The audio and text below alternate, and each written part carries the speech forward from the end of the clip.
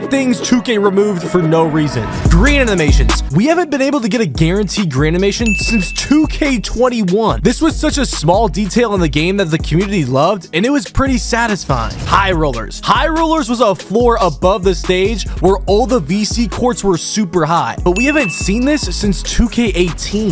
Leaderboards. There used to be leaderboards for every stat category in older 2Ks, and they even brought back rep leaderboards in 2K20 and 2K21, but then they removed them again, and we haven't seen them since. Park badges. If you played 2K17, you know the feeling of unlocking a park badge was like no other. And I'm not sure why it was removed. Wheel spins. These daily spins were added in 2K19, but in 2K21 and 2K22, they made the rewards on the wheel really bad. And then they just completely took them out of the game. Subscribe if you would want to see a return of any of the